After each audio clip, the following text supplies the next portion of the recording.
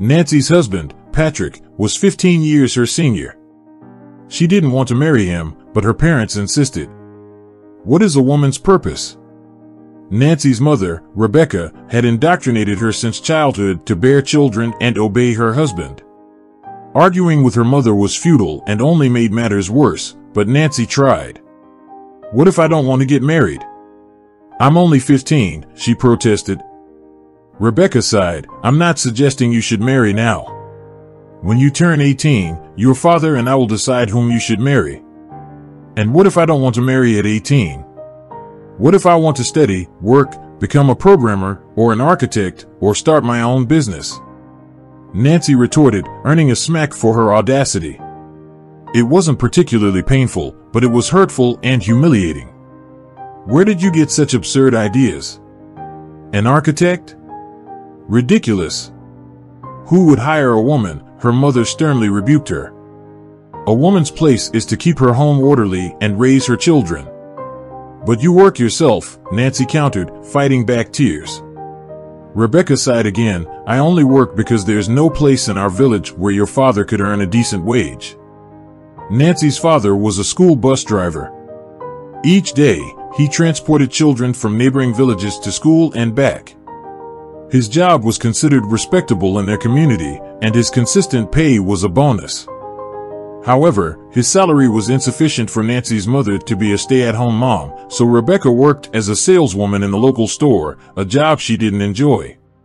Her moods often reflected her interactions with customers, and since the store was the only one in the village, locals had to tolerate her occasional rudeness. Rebecca's only source of happiness and hope was her daughter. Her dream was to marry her daughter off to a wealthy man, thinking it might benefit her too. Nancy was a beautiful girl with long, thick golden hair and big black eyes framed by fluffy eyelashes. She met her future husband, Patrick, before she turned 18. On the day they met, she and her mother were in the city to buy a graduation dress.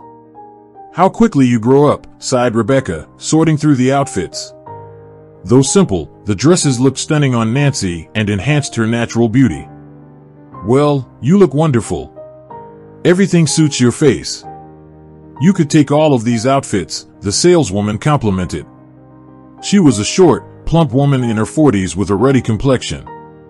Obediently, Nancy tried on one outfit after another, twirling in front of the mirror for her mother's approval. She was indifferent about what to wear to the prom. Firstly, her mother would insist on buying what she preferred. Secondly, her parents had rejected her plea to continue her studies. They had already compiled a list of potential suitors and planned to address this matter seriously once Nancy graduated. Prom, a pleasant male voice suddenly sounded near them. Nancy turned around in the light blue knee-length dress she was trying on. She felt subconscious under the stranger's scrutinizing gaze. He was tall and towered over her. His broad shoulders, firm chin, and straight black eyebrows gave him an air of confidence and strength. His black eyes, even darker than Nancy's, bore into her. Nancy also noticed how the saleswoman's demeanor changed when she saw the stranger. She tensed up and started to smile ingratiatingly. Yes, we're going to the prom, Rebecca answered for her daughter. How do you like the dress? Does it suit my daughter? Nancy felt uneasy that her mother was seeking the opinion of a stranger who was unabashedly staring at her. However, the man did not seem surprised by Rebecca's question.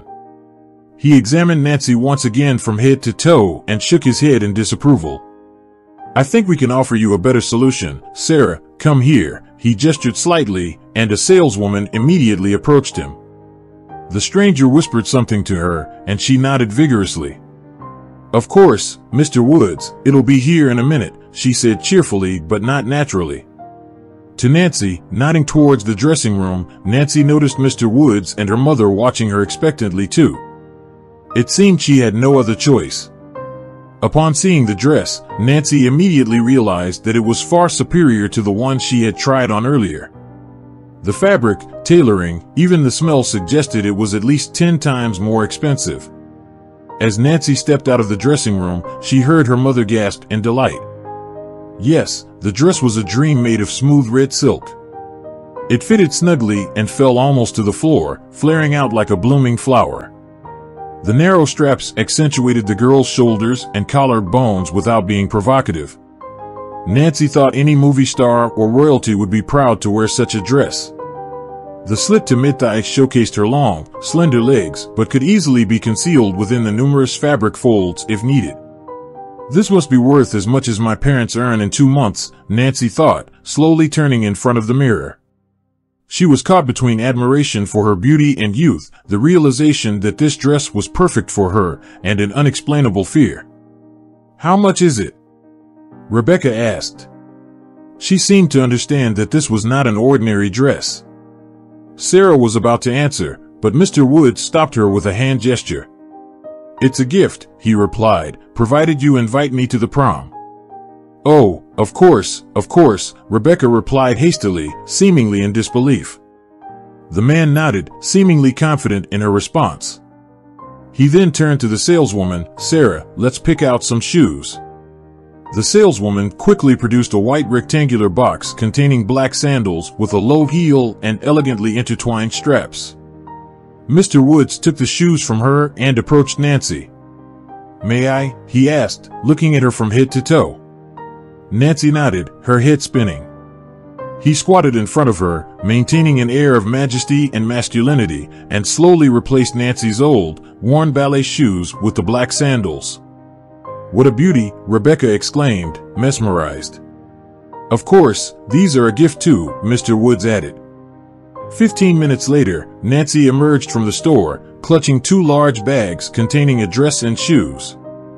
Her mother and Mr. Woods remained inside, discussing the details of her upcoming graduation party. I've just been sold, Nancy thought to herself. I've really been sold. She was terrified that Mr. Woods might show up at their house soon, perhaps even before the graduation party, but fortunately, he didn't.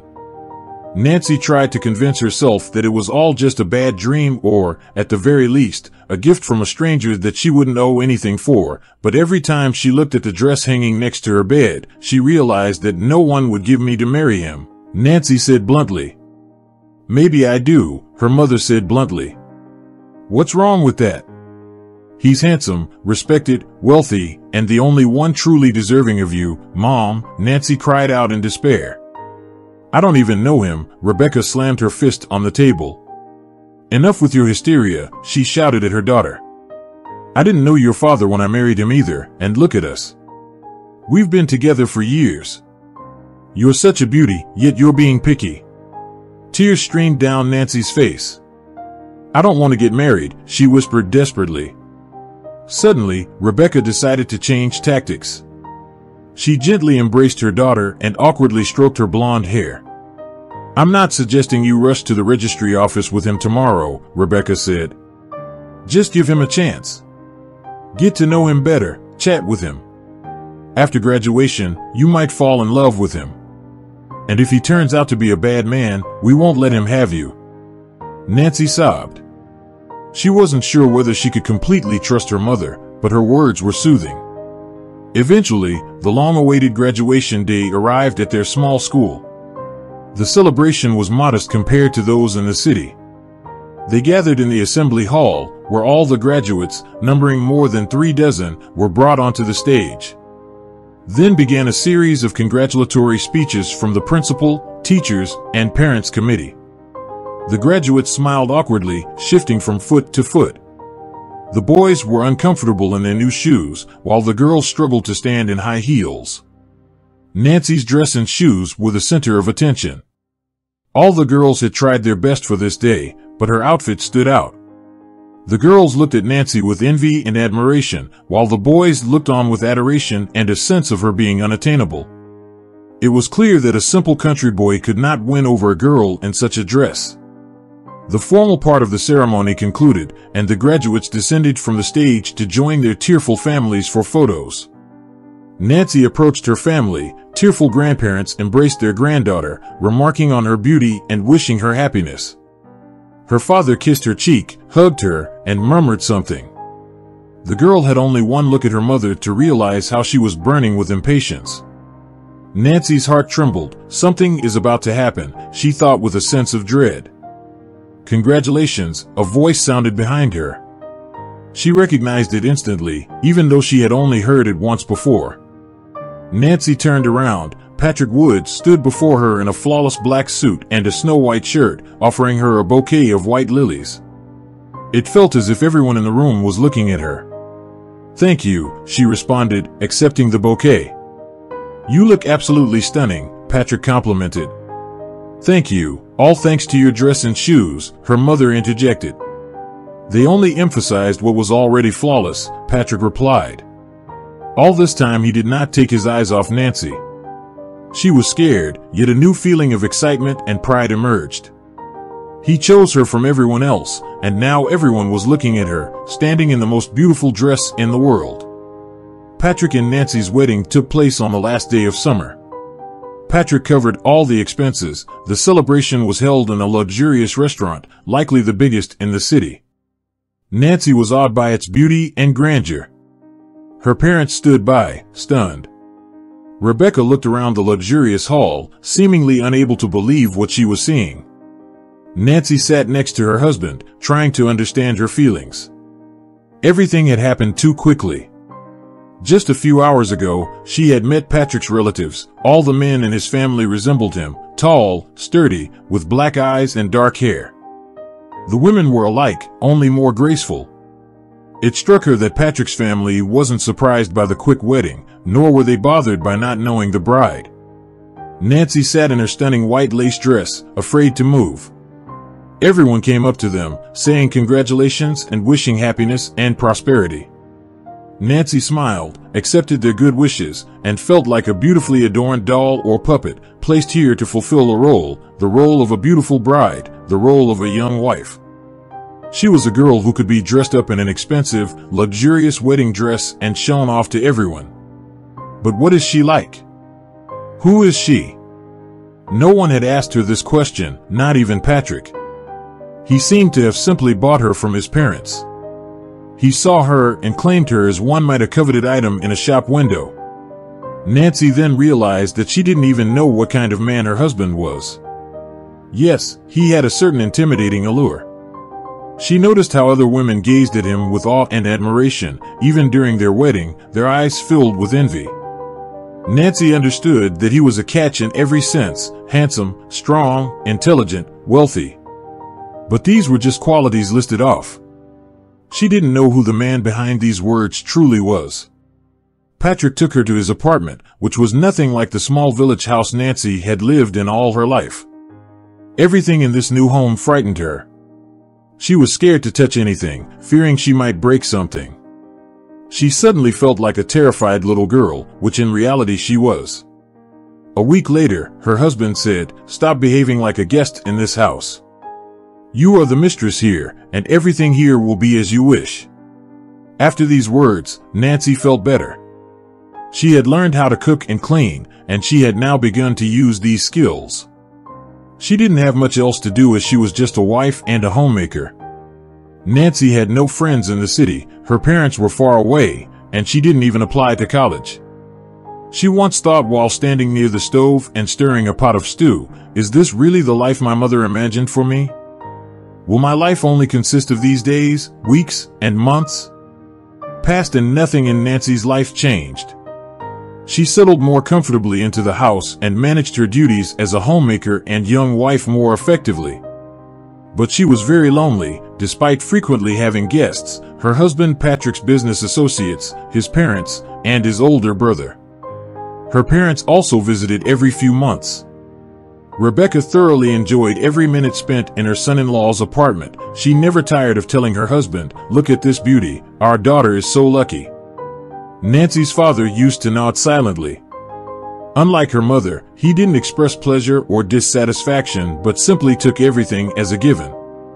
Nancy also suspected that Patrick was giving her mother money and likely a significant sum, as Rebecca left looking even happier than the day she had arrived to her daughter.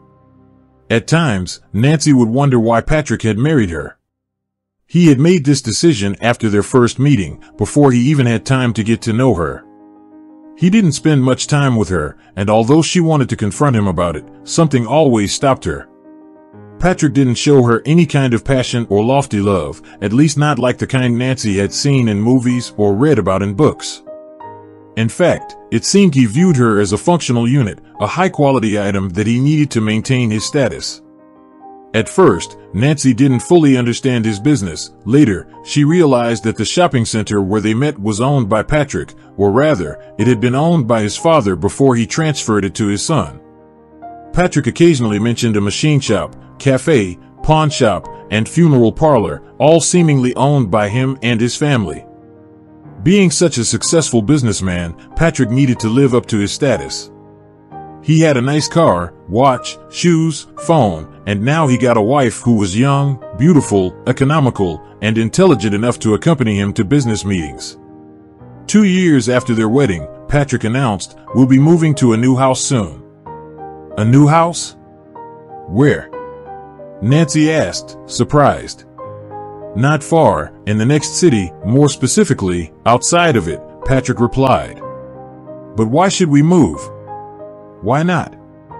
My business is expanding, and it'll be more convenient to manage it from there. And by the way, there shouldn't be any problem for you, since you're at home most of the time. That's what I wanted to discuss with you, Nancy interjected. Don't worry, you'll have plenty to do there. It's a large house that needs fixing up. Besides, Patrick added, hugging her and kissing her cheek, it's time to think about having children. But I'm only 20, Nancy countered. So what? We've been married for two years already. My mom gave birth at 19. I don't even have an education, Patrick smiled. And why do you need it? What do you mean, the husband side? Nancy, people get an education to get a job. You don't need to work. She looked embarrassed. But that's not.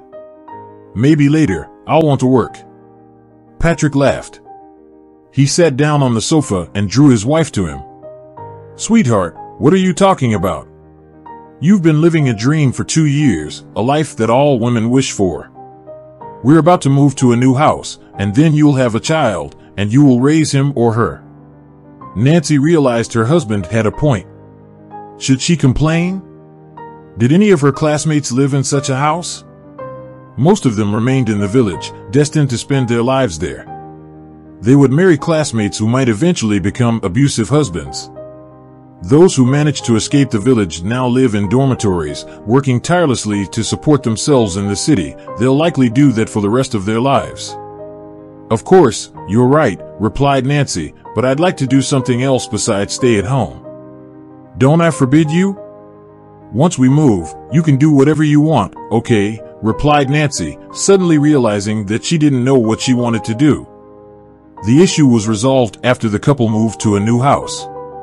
The neighboring city was further than Nancy had anticipated, and the house was not in the city but in a settlement an hour's drive away. Public transportation was almost impossible to use. Nancy didn't know how to drive, so when her husband was away, she was virtually confined to her new home. Besides, Nancy and Patrick seldom ventured into the city, only for occasional meetings with his partners. Nancy devoted all her spare time to organizing the new house, with Patrick providing unlimited funds. Order anything you want on the internet, he said. They'll deliver everything. So Nancy spent her days choosing finishes, furniture, chandeliers, wallpaper, and so on, although she knew little about it. She seemed to manage quite well. You have excellent taste, Patrick told her once, seeing the results of her work. Thank you, Yes, the house is transformed, he said, approaching his wife and giving her a kiss. You're a natural wife and hostess. All that's left is to become a mother. However, it took another two years before Nancy became pregnant. She couldn't believe her eyes when she saw the two stripes. It felt as if life split into before and after. She wouldn't be alone anymore. There would now be someone in the house who would always be with her, someone to lighten her loneliness, because Nancy felt very lonely. She had been married for four years, yet she still couldn't understand her husband, especially lately. Patrick always seemed to be busy. Nancy understood that her husband's work was his top priority, but she yearned for him to spend time with her, which hardly happened. She hoped the child would fill this void. As for Patrick, he was thrilled when he found out about the pregnancy. Finally, he exclaimed, I'm going to have a son. What if it's a girl? No, it has to be a boy, my heir. However, they ended up having a daughter, Bonnie. Patrick was happy, but Nancy could tell that he would have been even more excited if he had had a son. After Bonnie's birth, Patrick's life remained mostly unchanged. He still spent most of his time at work, while Nancy was left to care for their daughter, always worried she might do something wrong and feel utterly exhausted. Things became slightly easier when her parents came to stay for a few weeks. She hadn't seen them for over a year and was thrilled when they had visited her. My girl, how you've grown, exclaimed Rebecca. And what a wonderful house you have. Her father approached Nancy, giving her a hug and a kiss. And who is this little one we have here? Rebecca asked gently, looking at Bonnie lying in the cradle. She looks a lot like you, added the grandfather. Nancy felt more at ease with her parents around, less lonely, although she didn't dare to express her true feelings because she didn't want to dampen their happiness. Rebecca was thrilled when she learned that her daughter had furnished the house. You're very talented, my girl, she said. It's very cozy and beautiful here. Simply fabulous, Dad added.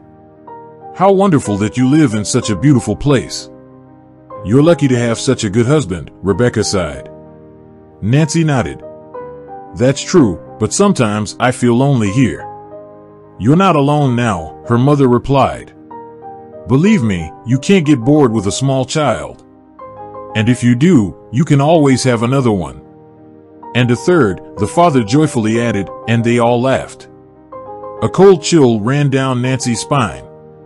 She loved Bonnie more than life itself and had accepted her fate next to Patrick. But was she destined to only be a wife and mother, trapped in this beautiful house? What would become of her once the children grew up and left? Patrick would still be a businessman, the head of the family, and she just an empty shell. A few days after celebrating Bonnie's second birthday, Patrick announced, by the way, soon you and your daughter will have some company. Nancy and Bonnie were sitting on a mat, with Bonnie playing with cubes, stacking them on top of one another. What kind of company? Nancy asked. My good friend bought a house in the neighborhood and will be moving here with his wife and child in a week, Patrick replied. That sounds great, exclaimed Nancy. It's about time our daughter met other kids. They have a son the same age as Bonnie, Patrick added, with a change in his voice tone. Nancy squirmed, aware that Patrick wanted a son. He had often suggested having another child, but she wasn't ready yet.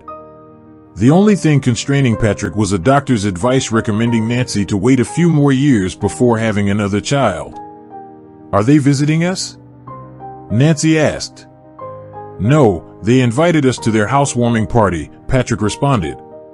On the designated day and at the exact time, their family was already at the neighboring house. Nancy noticed that their neighbor's house was as large as theirs. A smiling woman in a shiny evening dress opened the door. Seeing her, Nancy regretted her simple attire of black jeans and a white t-shirt, having thought it was just a casual visit to the neighbors, not a social gathering.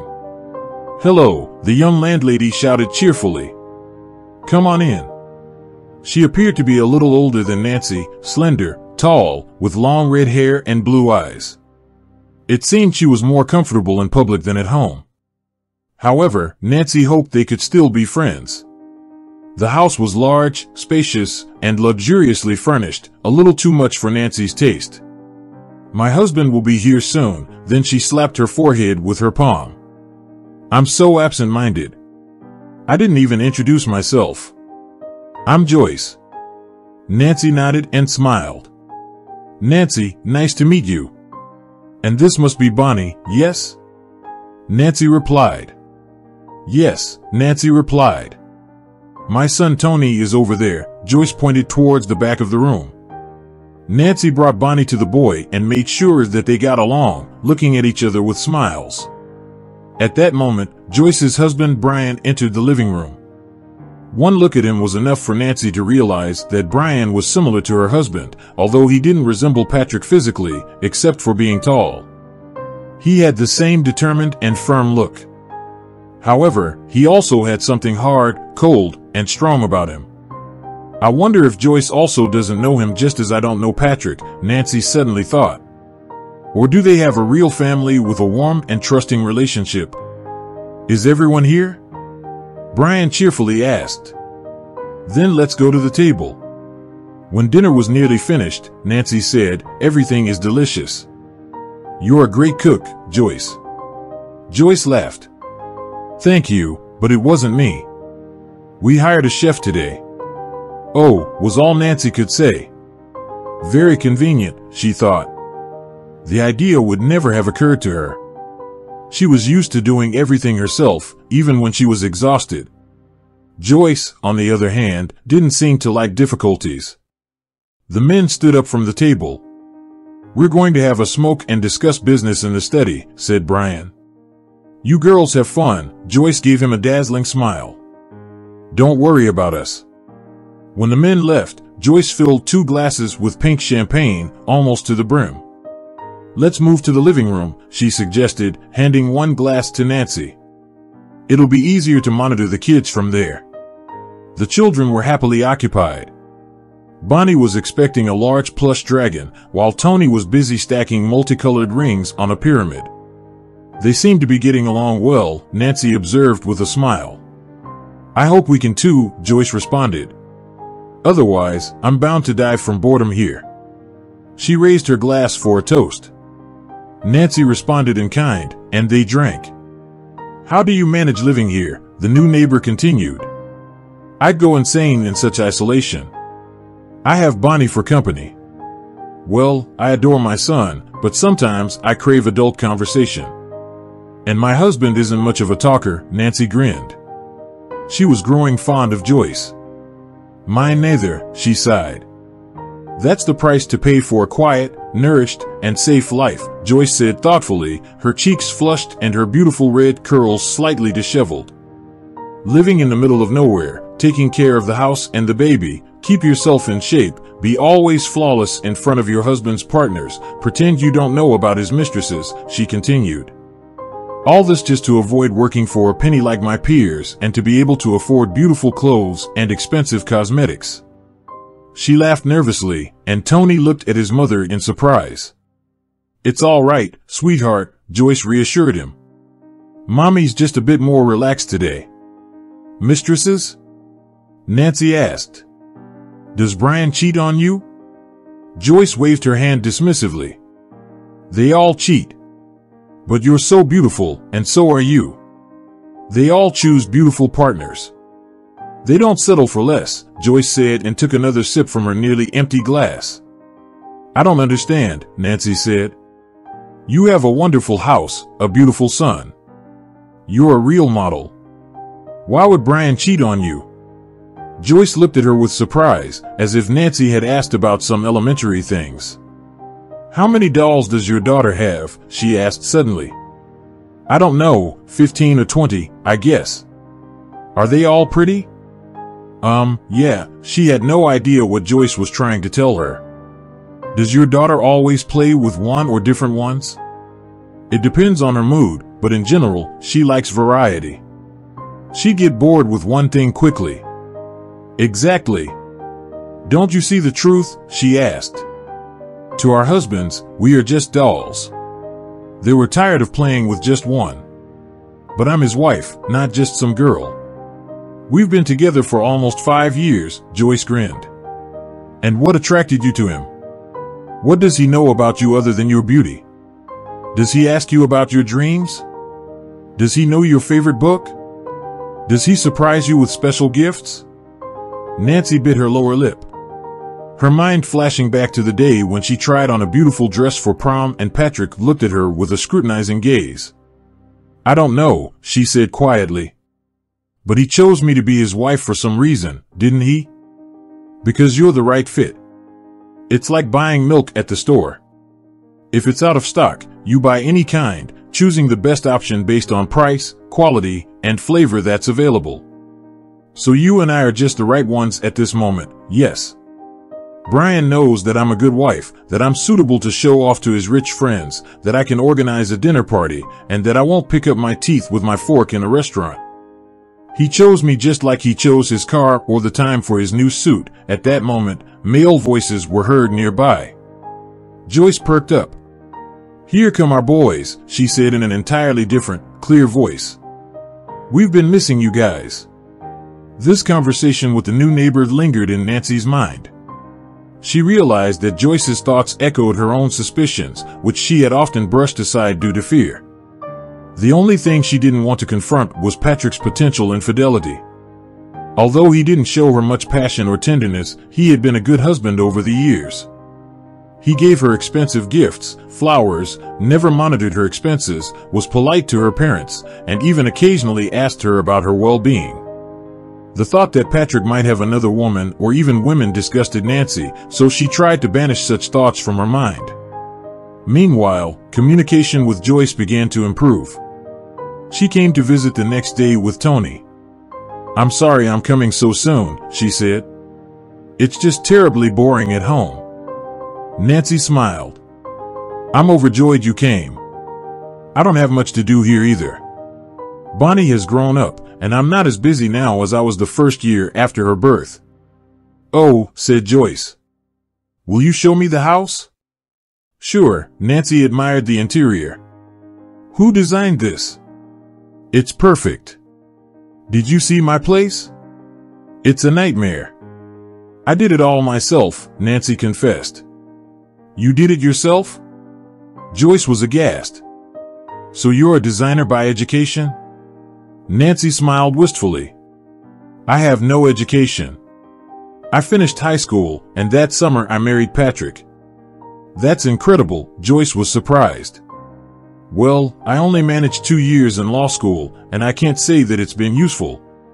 Later, as they sat in the living room drinking tea with homemade cookies, Joyce provided a suggestion. Maybe you could make my house look this cool. Nancy was surprised. You just moved in and renovated it, didn't you? You said it yourself, you had spent so much money. Joyce casually waved her hand. Money isn't a problem. Don't worry about it at all. Brian lets me spend as much as I want. We have to have some fun in this life, don't we? Okay, I'll think about it, replied Nancy. Joyce gently squeezed her hand. I'd really appreciate it. Thus, their visits continued. Nancy couldn't imagine her life without her energetic and cheerful neighbor. They were both in similar situations, but their approaches were different. Nancy felt trapped in a golden cage, with Bonnie being her only escape. Joyce, although in a similar position, made her cage as comfortable as possible and indulged in all available luxuries. Almost every day, Joyce arranged for a car with a private driver for city trips.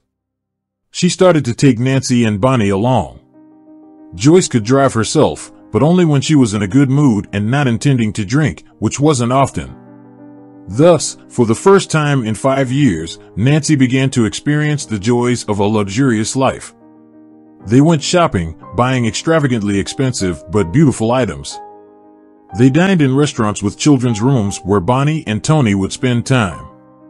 Joyce also introduced her friend to beauticians and masseurs. I see Brian's wife has been a good influence on you, Patrick told her one evening. Why? Nancy asked in surprise. Her husband shrugged and removed his shirt. You seem happier, more cheerful. I like it. I'm going to shower, he left, and Nancy, out of habit, picked up his shirt to put it in the laundry basket. An unfamiliar scent hit her nostrils. It was a feminine perfume, but it wasn't hers. She brought the shirt closer to her nose. It definitely smelled like perfume. No, Nancy thought. I must be imagining things. I shouldn't have sampled so many perfumes at the mall today. Some of the scent must have lingered in my nostrils. She quickly tossed the shirt into the washing machine and started it. This incident was the first time Nancy sensed something was off. After that, she started noticing more things, the faint smell of wine on her husband when he returned late from meeting friends, even though she knew Patrick only drank whiskey with them, The perfume scent she had once detected was appearing more frequently and couldn't be explained by her visits to the mall. A few times, she noticed long, dark hairs on his jacket. But most significantly, she sensed a change in Patrick's behavior towards her. He had never been affectionate, but now he seemed even more distant. They barely spoke, despite not being in conflict. Sometimes Nancy felt as if he had stopped noticing her, like one might overlook a broken TV gathering dust in a corner. One evening, Patrick was late to work again. She had already put her daughter to bed and went to bed herself, but sleep did not come. We need to talk, thought Nancy, because she couldn't go on like this. However, the prospect of such a conversation didn't please her either. None of the options seemed to promise a good evening. Perhaps Patrick will deny it, saying that I'm imagining things. Then everything will remain the same, except that I will continue to doubt him. Or he'll confess, which is even worse. Then I either endure his cheating for the rest of my life or get a divorce. And where will I go with a little daughter? To my parents in the country? I don't think they would be happy about that. And I, without an education, can hardly find any work to support myself and Bonnie. Is he really saying what I think they're saying? She blurted out. An accident? asked Patrick. Yes, that would be perfect. I'll give Bonnie to her grandmother to raise. The clinking of glasses sounded again. Nancy became afraid. What if they come out of the office right now? See me? Realize that I heard everything? What will my husband do to me then? Kill me on the spot while our daughter sleeps upstairs? Listen, why don't we go to my place? Brian's voice suddenly sounded. My partner brought me such a whiskey the other day. There are probably only 10 bottles of it left in the world. Let's go. Luckily, Nancy hid in the shadow of the stairs just in time, and they didn't notice her. Once the men closed the door behind them, she raced upstairs to her daughter's room. What should I do? Where should I go? Should she call her parents? But how can they help? Nancy bitterly thought. They probably wouldn't believe their beloved son-in-law could do such a thing. Should I call the police? But I don't have any evidence, only an overheard conversation. Should I call Joyce? She's probably asleep by now. But can she help me? What if Brian threatened her too? I need to run, get out of here as quickly as possible. How much time do I have while Patrick and Brian drink their whiskey and plan? An hour or two? Once they finish their drinks, Patrick will have made his decision, and I won't have time to think. If I'm going to run away, it has to be now. There was no time to think.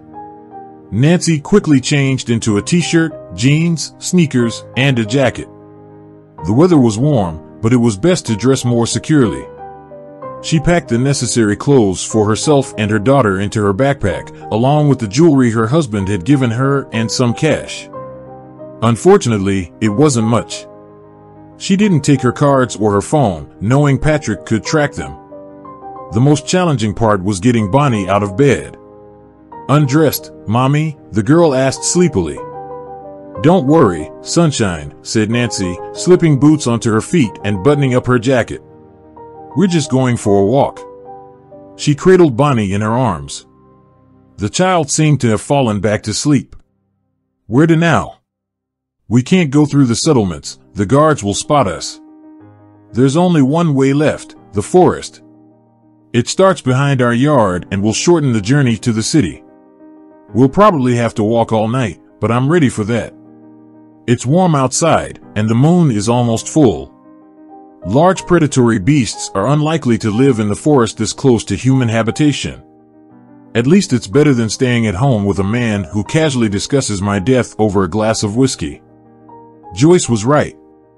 We are just accessories to our husband's things, the suitable things. And when Patrick found someone more suitable, someone who will bear his son, he decided to get rid of the woman that he no longer needed. Nancy didn't know how long she walked through the forest like this. Now, an hour, two, or even more. At first, she didn't feel tired and kept walking, without really seeing the path. Bonnie woke up two or three times, looked around in surprise, and almost immediately fell back asleep. probably thinks she's dreaming, Nancy thought. I wish it was so.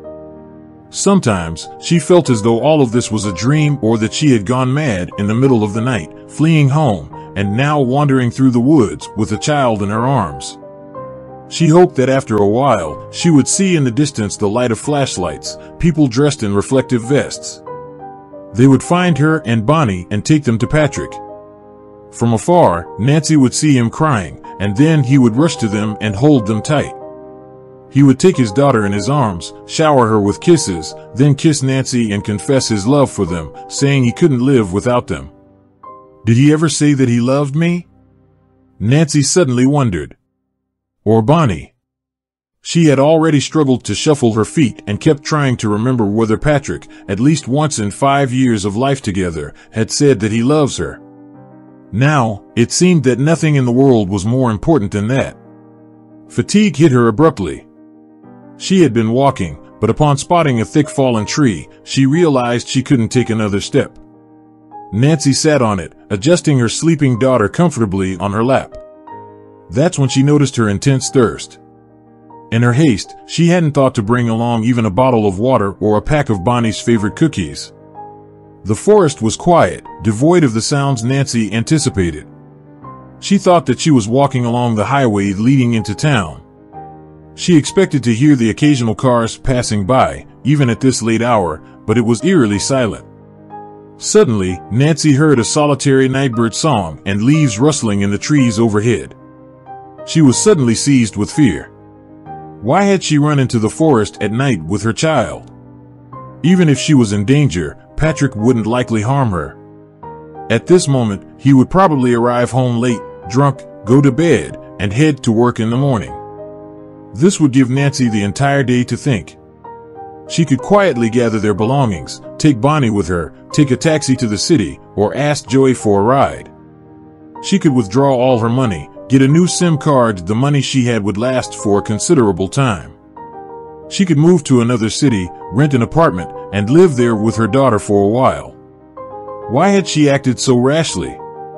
The answer was clear, she had acted out of fear. Nancy stood up, realizing she was lost, but she had to keep moving. Maybe she was far from the highway, or perhaps there were simply no cars at this hour. Regardless, she couldn't just stand there. How soon would Patrick realize they were gone? Time was her only advantage. The forest was gradually starting to lighten when Nancy spotted the outline of a forest house in the distance. As she approached, she surmised that the house had been vacant for quite some time. In the pre-dawn twilight, the dwelling appeared ancient and gloomy. But none of this mattered to Nancy anymore. All she desired was a bed, a bench, or even just a wooden floor, any flat surface where she could lie down. She moved her legs mechanically, her eyes glazed over, and Bonnie in her arms felt ten times heavier than usual. The backpack straps cut heavily into her shoulders. Nancy tried to open the door, but it was locked. She mustered all her strength and tried again, to no avail. All right, she decided, I'll just rest here. Without even removing her backpack, she sat down on the porch next to the door, held her daughter closer, and closed her eyes. Nancy didn't quite comprehend what transpired next. Whether it was a dream or reality was unclear. She heard a male voice asking something and trying to wake her up. Then she was practically lifted and carried into the house. She held on to Bonnie tightly, fearing to drop her. Then she felt a sudden lightness as someone removed her backpack. The last thing she could vaguely recall was being laid on something soft, with the scent of dry grass. It's called a mitten. A mitten, you wear it on your hand to keep it warm. Not now, of course. It's summer, and you don't need them. But when winter comes, we'll need mittens. The voice was clearly a man's, and an unfamiliar one. Nancy gradually regained consciousness. She realized she was lying, with her eyes closed, in an unknown room, not at home. The bed beneath her was narrow and hard. The events of the previous night slowly started to resurface in her memory. There she was, restlessly tossing and turning in bed, unable to sleep. Lights and voices echoed from behind her husband's steady door, the dark forest faintly illuminated by the moonlight flickering through the foliage. Bonnie. Nancy abruptly sat up on the bed and opened her eyes. Finally, your mother is awake too, the same male voice said. Her daughter was sitting on the floor, a large furry brown knitted mitten in her hands, which she was examining. Bonnie noticed her mother watching her and smiled happily. Beside her daughter sat a strange man. He was tall and broad-shouldered, with light red hair, a dark red beard, and green eyes. Are you awake? he asked cheerfully. We've been waiting. Light was streaming through the window. Nancy realized she must have slept for quite some time. What time is it? she asked. Almost 2 p.m., the man replied. Your daughter has been awake for a while.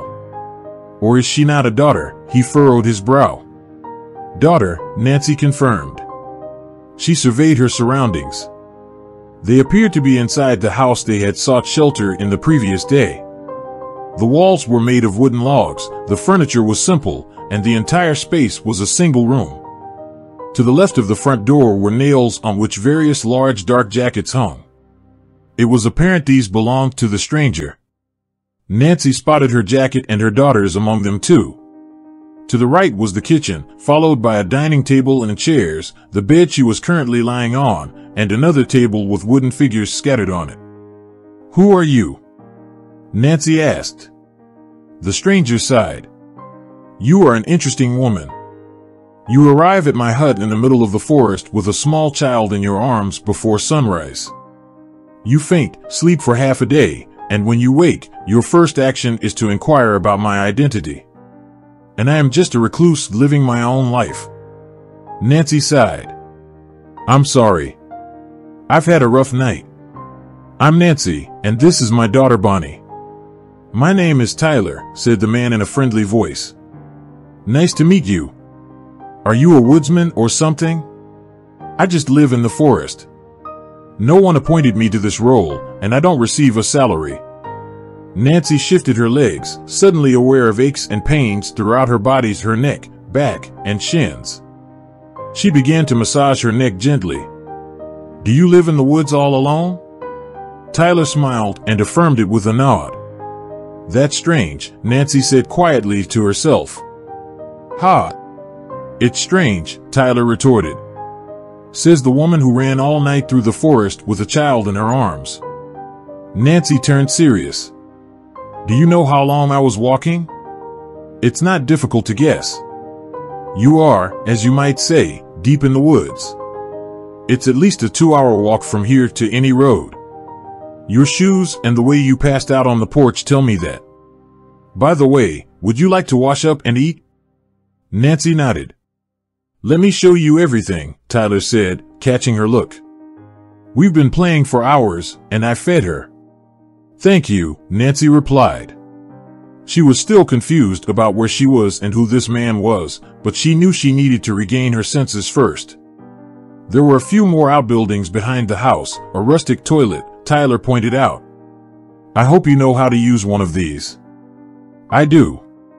I grew up in the country, she responded, he glanced at her. Wow, you can't tell, he replied, then continued, that's a summer shower. The water's slightly warm, but you can wash up. For hot water, you'll need to heat the sar. He looked around. I think that's it. Thank you, Nancy replied. When she finished and returned to the house, she saw Bonnie on the bed playing with wooden figures. Nancy worried her daughter might get a splinter, came closer, and picked up one of the toys. Her fears were unfounded, the figures were well polished and had a pleasant scent of fresh wood. Gorgeous, said Nancy, examining the wooden bird with skillfully carved feathers. How long have you been doing this? Three years, shrugged Tyler. Sit down at the table. You need to eat well. Once Nancy ensured her daughter was securely seated and unlikely to fall, she joined Tyler at the table. He served her a large bowl of soup that emitted an appetizing aroma. It appeared to be a mushroom soup with chicken and noodles. I can't eat that much, she protested. Tyler grinned. It only seems so. You just start. He placed a wicker bread box on the table filled with flatbread. Is that homemade too? Nancy asked. Everything here is homemade, the house owner replied somewhat indignantly. He was right. Nancy finished the soup and the flatbread.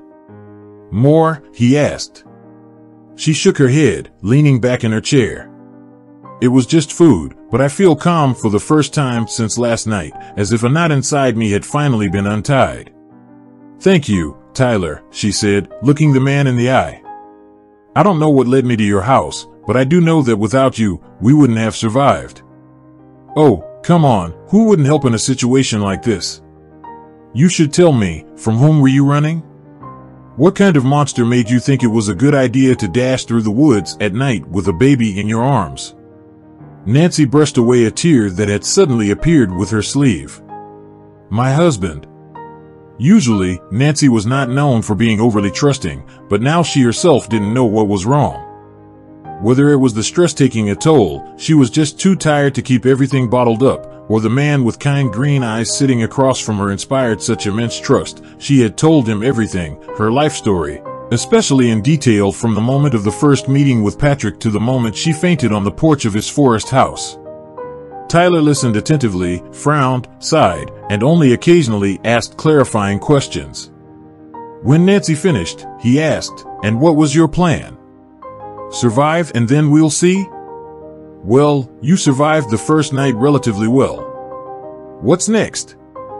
I don't know. I suppose we should get to town. Then we can go to my parents' house. Do you think your husband will be looking for you and your daughter? Of course. Where's the first place he's going to go? To my parents, Nancy said and rubbed the bridge of her nose tiredly. I don't know. We'll just need to get lost in the city. Hopefully, considering his money and connections, Nancy realized that Patrick could quickly find them if he wanted to. I see. You can stay here if you like, said Tyler suddenly. Here? Yes. I doubt it would occur to him that you were in the woods with a stranger. Yeah, the woman said and looked intently at Tyler. Why don't you tell me about yourself? Well, I'm just a very normal man. Normal men of your age don't live in the woods. How old do you think I am? 30? 31, I think, Nancy said. You've lived through just as many strange events as I have, he grinned.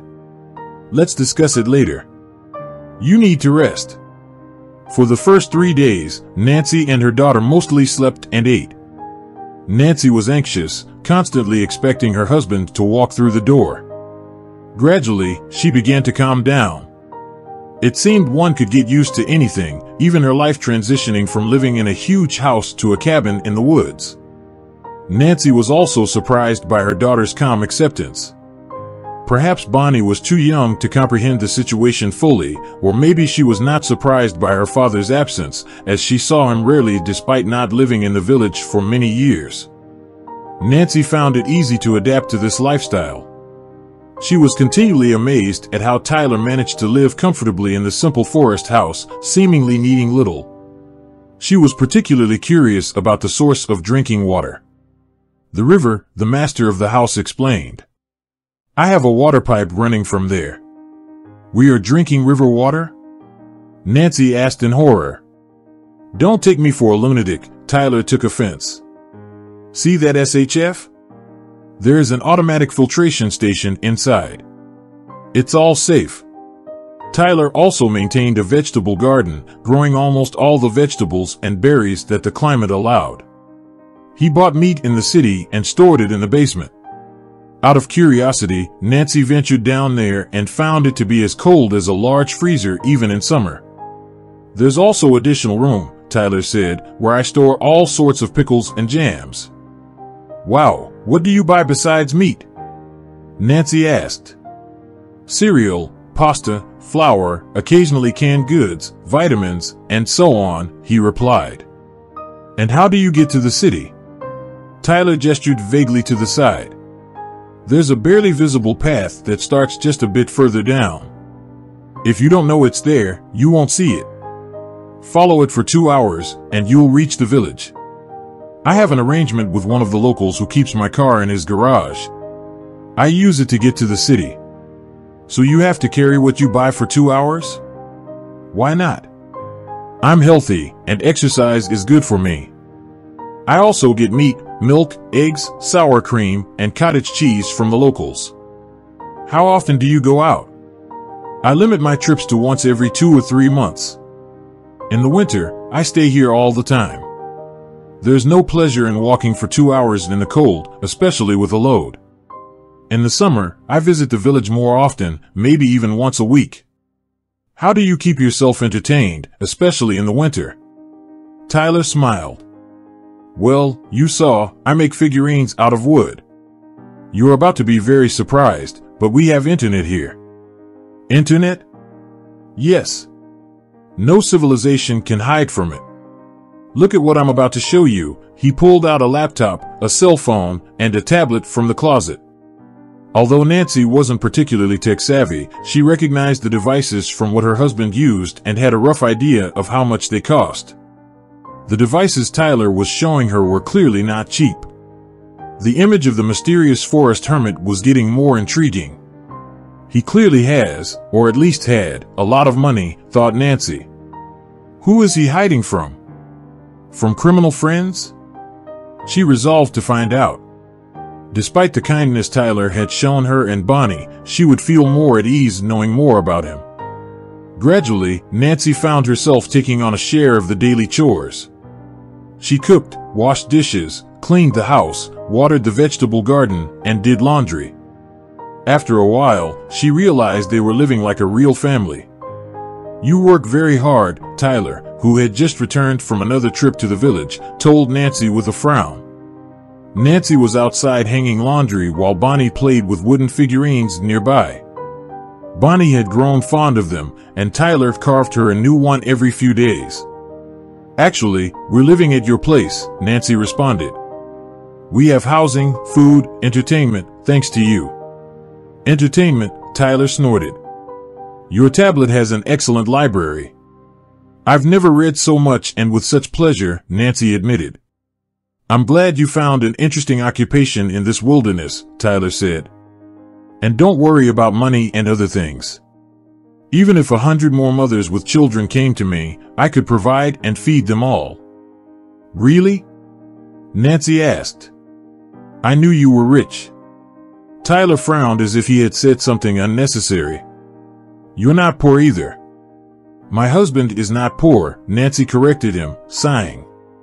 Tyler looked at her strangely. Let's sit on the porch tonight after Bonnie falls asleep. You'll see how beautiful the evening is in the forest, Nancy thought for a moment. I saw some homemade liquor in your cellar.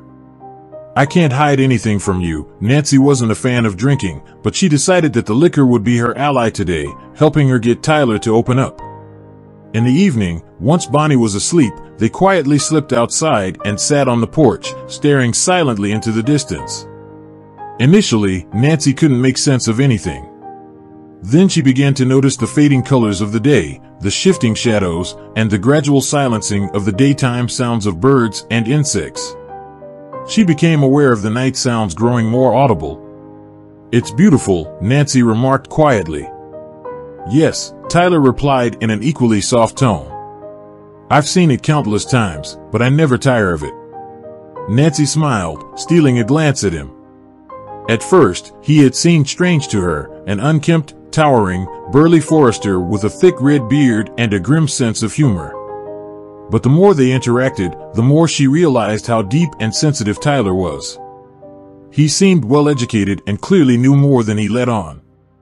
Nancy took out the glasses she had brought from the kitchen and poured a little bit of peach liqueur into each. A fruity aroma filled the air. To our strange acquaintance, said Nancy, holding out a glass to Tyler. He smiled, took the glass, and clinked it lightly with Nancy's. To our strange acquaintance. The drink was moderately sweet but potent. Nancy took a small sip and tried not to grimace. Very tasty, she said. Tyler nodded. So, let me clarify, your plan was to get me drunk and uncover my terrible past, wasn't it? Yes, Nancy admitted with a shy smile. Fine, I'll tell you, Tyler sighed and ruffled his hair. How does he cut his hair? Nancy suddenly wondered. Does he go to the city or do it himself? You guessed right, Tyler began. I come from a wealthy family. Nancy smiled.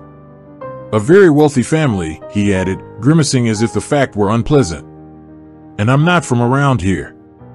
I was born on the other side of the country. Wow, Nancy said. Yes, and my family was one of the most influential in that city. Is that related to crime? Nancy asked. You guessed well, Tyler replied. Well, that would explain a lot, the man said. Long story short, yes, my father is a serious criminal mastermind, and a few other close relatives are two uncles, cousins, you name it. Have you always known about this? Nancy asked. Not exactly, he replied. When I was young, my mom would tell me and my brother that my dad was just away on business. Wait, you have a brother? Older or younger? I had a brother. He was older than me, but only by an hour. We are twins. Nancy frowned but didn't say anything. He continued, as teenagers, we began to understand our family's business, what our father, uncles, and older cousins were involved in. I was horrified, but my brother enjoyed it in a way. I was fortunate, since he was technically older, my father saw my brother as his successor.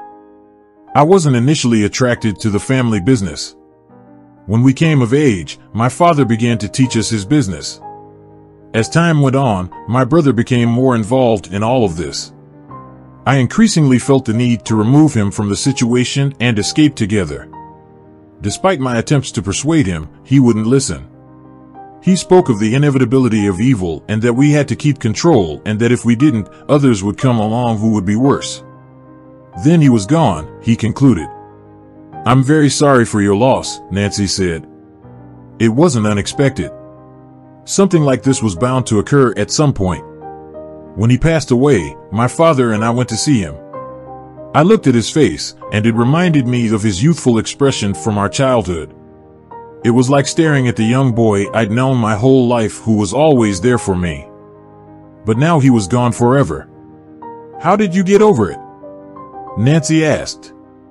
I don't know if I did. It was also hard for my parents. My father appeared devastated. He then told me I had to fill my elder brother's shoes. Oh my goodness, Nancy said. That's when I left. You see me now in a more or less sane state, but then I just wanted to hide from the world. Did it work? Yes, until you started knocking on my door early one summer morning, Nancy laughed. Well, I'm sorry. I'm overjoyed things turned out the way they did. I haven't felt so charmed and alive in years, she said. Me too, said Nancy, suddenly changing the topic. I need to go to town. I want to contact my parents and assure them I'm okay. They must be worried. Okay, we'll go. Could someone from your village drive me to town? I'd like you to stay with Bonnie again, he frowned. Of course not. We had a great time last time. Bonnie turned her gaze to Tyler and smiled at him, showing her small white teeth. The man smiled back and playfully tickled her. Bonnie laughed so freely that Nancy felt a wave of warmth. I'm worried about you, Tyler said. You've been lucky once, but what if your father or friend have already told everything to Patrick? It could be a trap. They wouldn't do that. Okay, just be careful. They met Joyce at a small, inconspicuous cafe on the outskirts of town. Her friend's expensive clothes made her stand out significantly. Thankfully, there were hardly any customers at this time of day. Darling, Joyce exclaimed, pulling her friend tightly against her. I'm so happy to see you. Nancy, replied Nancy, as they sat down at the table. Nancy noticed that Joyce was trying to discreetly wipe away her tears. Why are you so moved? Nancy asked in surprise. I thought you had died. Joyce admitted, Yes, I'm alive, Nancy confirmed. I've already imagined the worst, said Joyce. What happened? Can we meet? Do you need help? Money? Nancy smiled, appreciating Joyce's concern. They arranged to meet in a week. Nancy herself didn't know how the meeting with Joyce would help. She just realized she wanted to see her friend. Although she and Bonnie were safe with Tyler for now, she knew it couldn't last forever. She thought about this a lot. The only option seemed to be to run away so far that her husband wouldn't find her and her daughter. But was that even possible? Nevertheless, she needed money for that. All her reflections led to the conclusion that it was best to stay here with Tyler as long as possible. Nancy didn't want to admit it, but she desired to stay for other reasons as well. She began to realize the vast differences between Patrick and Tyler, and, most importantly, how different her feelings were for these two men. Patrick had always been a stranger to her. Looking at him, she wondered what he was thinking, what emotions he had. Tyler was entirely different. His warmth was palpable, she could feel it with every fiber of her being. Bonnie understood this as well, she trusted him easily from day one. Nancy also trusted him unconditionally and did not want to leave him. Are you going to the city again? Tyler asked with concern when Nancy told him her plans. I want to talk to my friend. She might give some advice. Would you mind looking after Bonnie again? He frowned. Of course not. We had a great time last time. Bonnie turned her gaze to Tyler and smiled at him, showing her small white teeth. The man smiled back and playfully tickled her. Bonnie laughed so freely that Nancy felt a wave of warmth. I'm worried about you, Tyler said. You've been lucky once, but what if your father or friend have already told everything to Patrick? It could be a trap. They wouldn't do that. Okay, just be careful. They met Joyce at a small inconspicuous cafe on the outskirts of town. Her friend's expensive clothes made her stand out significantly. Thankfully, there were hardly any customers at this time of day. Darling, Joyce exclaimed, pulling her friend tightly against her. I'm so happy to see you, Nancy replied as they sat down at the table. Nancy noticed that Joyce was trying to discreetly wipe away her tears. Why are you so moved? Nancy asked in surprise. I thought you had died, Joyce admitted. Why did you think so? Her friend looked up at Nancy. We had a conversation with Brian the night you and Bonnie disappeared. Nancy froze. Tell me, she said. Joyce started to crumple a paper napkin, her hands shaking. Late one night when my son and I were asleep, Brian and your husband came in. They sat downstairs quietly at first. Then their laughter grew louder as they discussed something I couldn't hear. Their conversation, I wish I had. It lasted until morning. I hadn't slept much and I had a headache. I lost my temper and confronted my husband. I told him we had a small child and I wouldn't tolerate such behavior in our home. Joyce paused, looking up at her friend with her large blue eyes.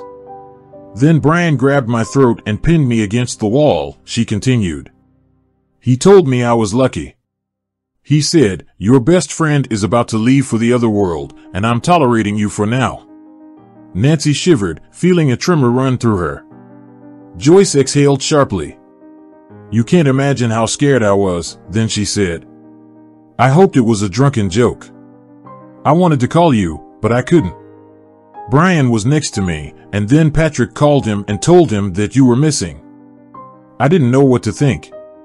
Of course, I wanted to hope that you somehow found out about everything and you ran away, but I also couldn't stop thinking that Patrick had done something to you. Joyce began to cry. It's all right, Nancy said firmly. I managed to find out about my husband's plans. We ran away. A good man took us in. We are safe. I don't know what to do next though. Joyce calmed down, raised her head to say something, and suddenly gasped. Oh no, he's been following me. I'm sorry, I didn't know. Nancy looked back. Brian and Patrick were approaching them. She began to think quickly, even surprising herself. Run, Nancy, she shouted, grabbing her friend's hand. Through the second door, quickly. Joyce snapped out of her daze and ran with Nancy towards the exit opposite the one their husbands had just entered. They sprinted inside and jumped into Joyce's car. We have to get them off our backs, the woman exclaimed. Nancy spotted Brian and Patrick sprinting towards their own car. Where are we going? she asked in terror. We'll leave the city via the highway, Joyce answered confidently. Then we'll lose them and figure out our next steps. We just need to buy some time.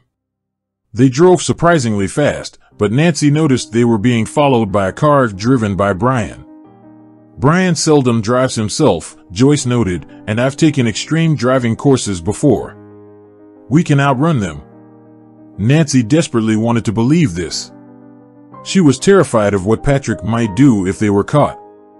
Would he kill her on the spot? Kidnap her and lock her in a basement? Would he find out where Bonnie was and hurt Tyler too? She gripped the seatbelt so tightly it would leave marks on her hands. Joyce was recklessly driving on the highway, overtaking, cutting off, and even using the oncoming lane. Despite the initial caution, Brian began to follow suit when he realized they were falling behind. In the first moment, Nancy could barely comprehend what was happening.